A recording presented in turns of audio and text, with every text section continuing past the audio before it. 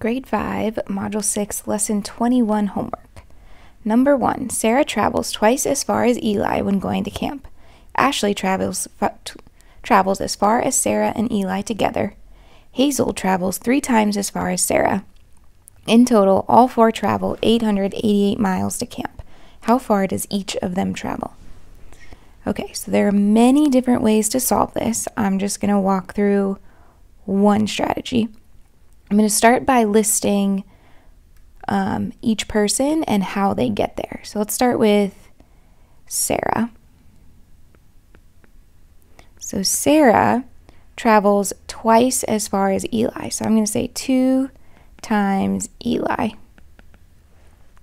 Let's see, Ashley. She travels as far as Sarah and Eli together. So Sarah plus Eli. Hazel, she travels three times as far as Sarah. And then Eli is just on his own. It doesn't tell us anything about Eli, but we know that he would be half of Sarah because she's two times as much as him. So in total, all four travel 888 miles to camp. So all of this adds up to equal 888. Now, what I notice when I'm doing this is it all involve everyone's involves either Sarah or Eli. So I know that Sarah is two times Eli. So I could go in and plug for everyone. So this is two Eli's. Sarah, remember, was two Eli's, is two Eli's plus another Eli's distance. Three times Sarah. So Sarah, one Sarah is two Eli's times three. That would be six Eli's. And then Eli is just Eli. So altogether, everyone's adds up to we have one, two, three, four, five, plus another six is 11, 12. So that all adds up to 12 Eli's. And the total is 888 miles to camp. So we know that, let's figure out just how much Eli is now. So if we can do 888 divided by 12. So 12 can't go into 8, but it could go into 88 see, 12 times 5 is 60, 12 times 6 is 72, 12 times 7, let's just make sure we're correct. It's 84, so it could go in 7 times. 12 can go into 48 four times. And so Eli traveled 74 miles. So there's one part of our answer. Now that we know that Eli traveled 74 miles, we can figure out what Sarah is. So Sarah traveled twice as far as Eli. So 74 times 2. So I'll label this as Sarah so we know. So Sarah traveled 148 miles.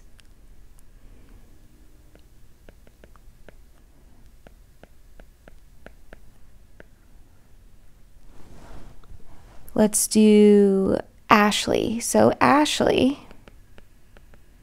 is Sarah, which is 148, plus Eli, which was 74.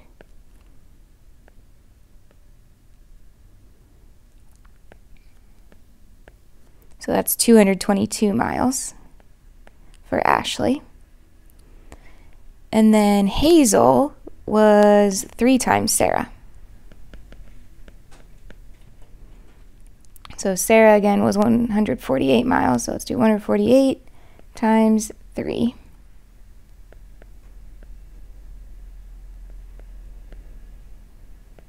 Four hundred forty-four miles for Hazel. So those are their distances. There's again many different ways to do it. Maybe you drew a picture, maybe you did a tape diagram, but at the end, these are the miles that you should have gotten. Okay, number two is a brain teaser.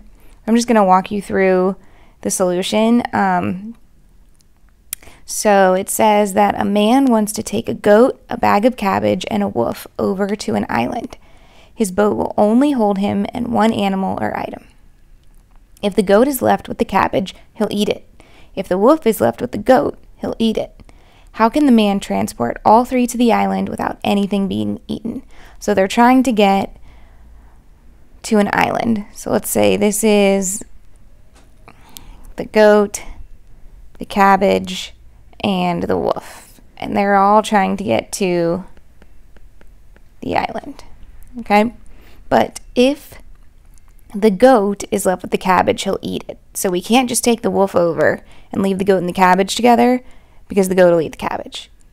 If the goat is left with, or if the wolf is left with the goat, he'll eat it. So we can't just leave the wolf with the goat because then they'll come back to only the wolf.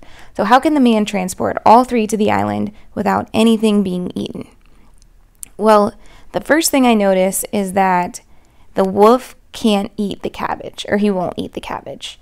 So, we can leave the wolf and the cabbage together. So, our first only option is to take the goat.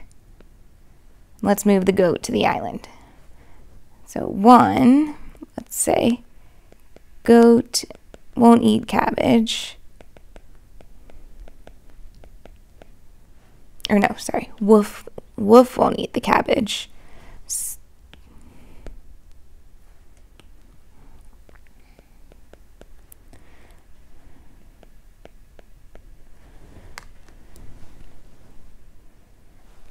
So start with the goat.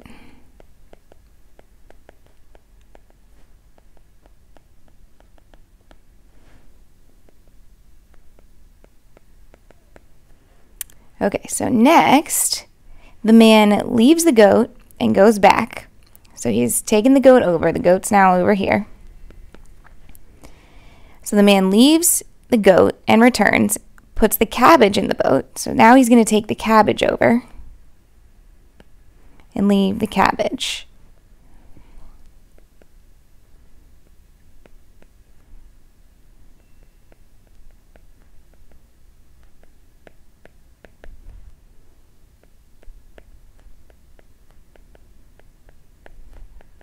So he returns to bring the cabbage.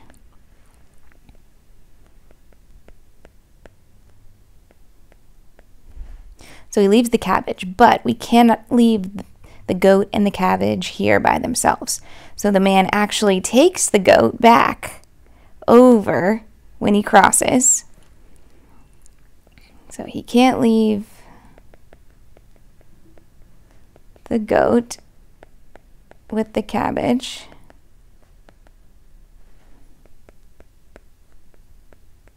So he takes it back across with him.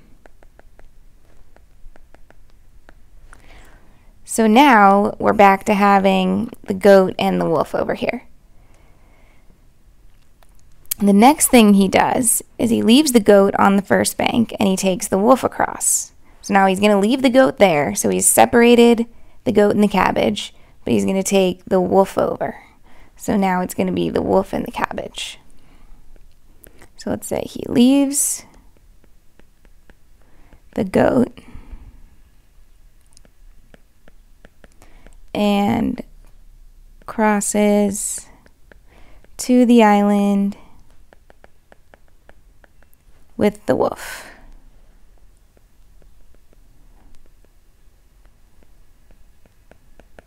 Okay, so now the goat is alone on land, and the cabbage and the wolf are now on the island.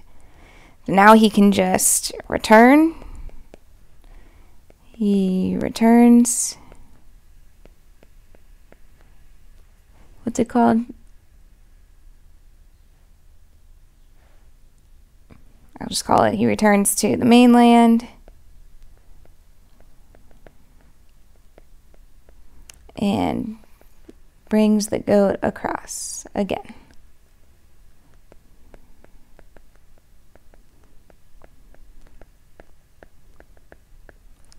So now it goes back, gets the goat, takes the goat, and everything is to the island, and nothing was there left there with something else that might eat it.